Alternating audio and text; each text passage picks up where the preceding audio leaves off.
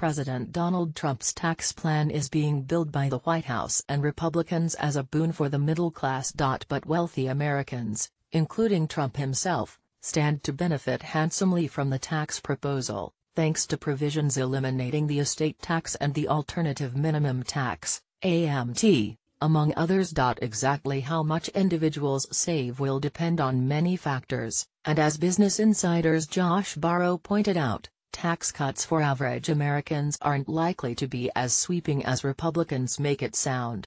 Some analysts think the current plan will have to be scaled back considerably, since it would reduce federal government revenue by an estimated, and unsustainable, $5.8 billion over 10 years. Still, as it stands now, take-home pay could increase for most Americans under Trump's tax plan.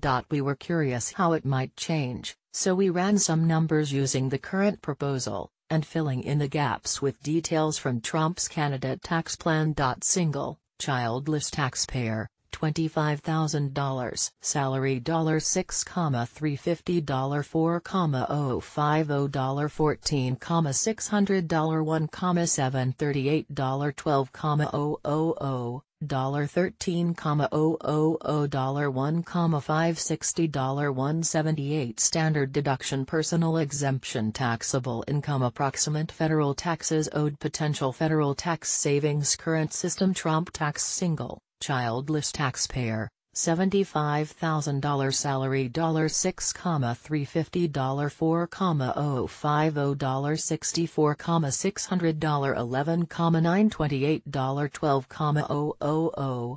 350 $4, 050 $64, 600 $11, 928 $12, 000 dollar sixty three comma oh oh oh dollar nine comma two fifty dollar two comma six seventy eight standard deduction personal exemption taxable income approximate federal taxes owed potential federal tax savings current system Trump tax single childless taxpayer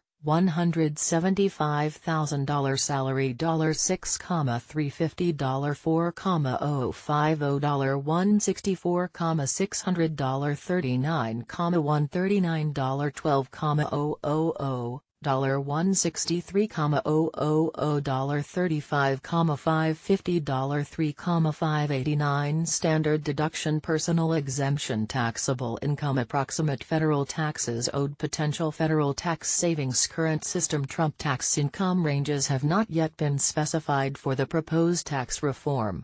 Here we've used single filer income ranges based on Trump's candidate tax plan for each of the tax brackets proposed in the current plan. 12%, $0 $50, comma 000, 25%, $50,001 to $150,000, 35%, $150,001 or sources, IRS 2016 tax tables, TurboTax Taxcaster, September 2017 Tax Reform Plan, Trump's 2016 candidate tax plan Trump's tax plan proposes three federal income tax brackets, 12%, 25%, and 35%, but it does not yet specify income ranges for the proposed tax brackets.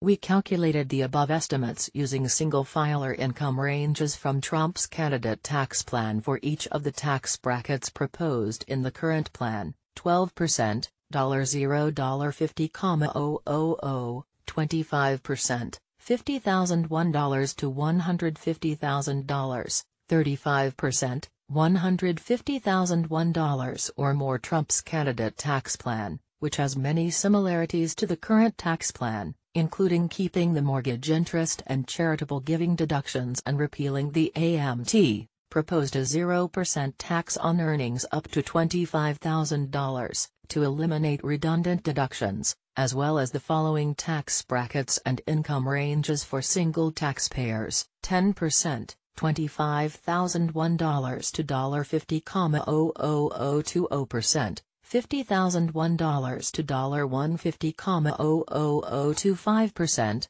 $150,001 or more The estimates above show how much single, childless taxpayers at different income levels might save if tax reform passes, something that could prove challenging, given the trouble Trump has faced in his attempts to overhaul the U.S. healthcare system. As the conversation around tax reform continues to unfold, there are a couple important points to help understand how the plan could affect the average American taxpayer, not just high-earning Wall Street pros. The majority of Americans do not itemize tax deductions. According to the most recent IRS analysis of individual tax returns, 70.4% of taxpayers claim the standard deduction on their tax return. Americans who do claim the standard deduction will be able to reduce their taxable income further under Trump's tax plan in turn reducing their tax bill.